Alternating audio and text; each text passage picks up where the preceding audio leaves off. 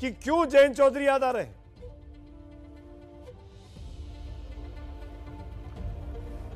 सुमित जी, लगातार भारतीय जनता पार्टी ने हमेशा चौधरी चरण सिंह जी को साकार करने वाली नीतियों को आगे बढ़ाया है। और हम सब जानते हैं और हमने देखा भी है क्योंकि मैं गन्ना मंत्री के रूप में उत्तर प्रदेश में काम कर रहा हूँ तो इसलिए मैं कह सकता हूँ कि मुझे पहली ही घटना याद आती है कि चौधरी साहब के कर्म क्षेत्र बागपत में जो रमाला शुगर मिल है, उस मिल को वर्षों से वहाँ का किसान मांग करता था कि इस मिल का आप विस्तारीकरण कर दो, लेकिन किसी ने उसको सुना नहीं। मुझे याद है कि जैसे ही योगी आदित्यनाथ जी से इसकी चर्चा हुई किसानों की तो सबसे पहले चौधरी साहब के जन्मदिन पर माननीय मुख्यमंत्री जी ने 500 करोड़ रुपए की लागत से वो नई चीनी मिल बना करके चौधरी साहब के सपनों को और समर्पित करने का काम उस शुगर मिल को किया। लगातार हम लोगों की मंशा है और सबसे बड़ी बात क्या है? सबसे बड़ी बात यह है कि जब बात आती है जयंत चौधरी जी के और अखिलेश जी के गठबंधन की जब बात आती है सपा के और आरएलडी के गठबंधन की तो ये गठबंधन स्वाभाविक गठबंधन नहीं है।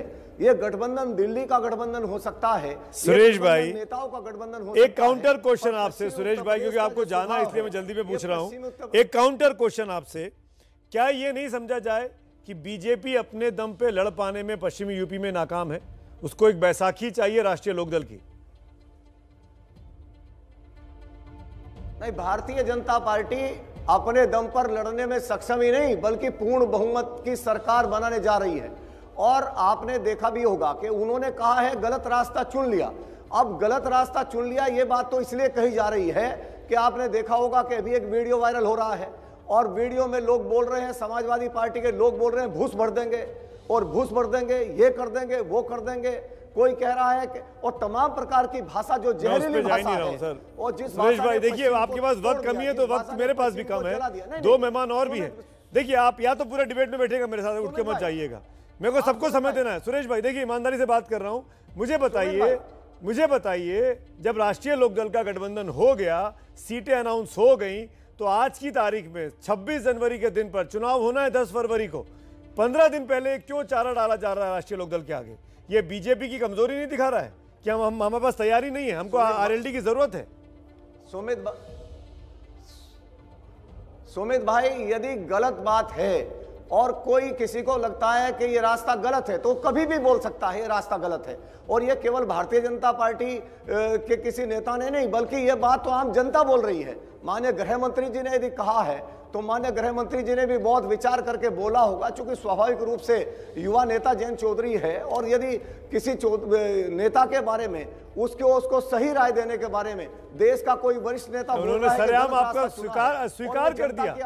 किसानों से माफ़ी मांगो कि- 700 किसानों को याद करो सुरेश भाई। उनसे उनके पास क्यों नहीं जा रहे हैं आप लोग? जयंत चौधरी का ट्वीट है कोई बच्चे नहीं जयंत चौधरी सांसद है। सुमित भाई मैं किसानों की बात जयंत चौधरी का ट्वीट पढ़िए ना क्या लिख रहे हैं? न्योता मुझे नहीं 700 बारह- किसान परिवारों को दो जिनके घर उजड़ गए। देख रहा आप देख रहे हैं ना? अरे मैं ट्वीट देख रहा हूँ बारह हज़ार बारह हज़ार किसानों के खिलाफ झूठा मुकदमा किसने कायम कराया था?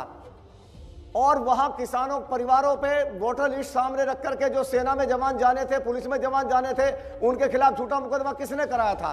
मुजफ्फरनगर में आग लगा पर अब तो वो चले गए ना। किसने किया था? अब तो वो चले गए ना। अब तो गठबंधन हो गया ना। अब कहाँ बचा है? बीजेपी को क्यों ज़रूरत है? बीजेपी क्यों कमज़ोर वैसा फील करा रही है। कि बीजेपी से बस मिस हो गई? गठबंधन दिल्ली का है।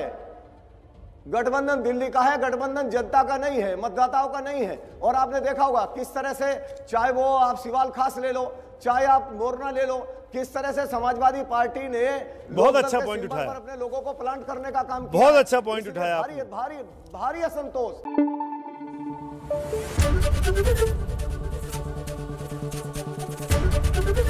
एबीपी न्यूज़ आपको रखे आगे।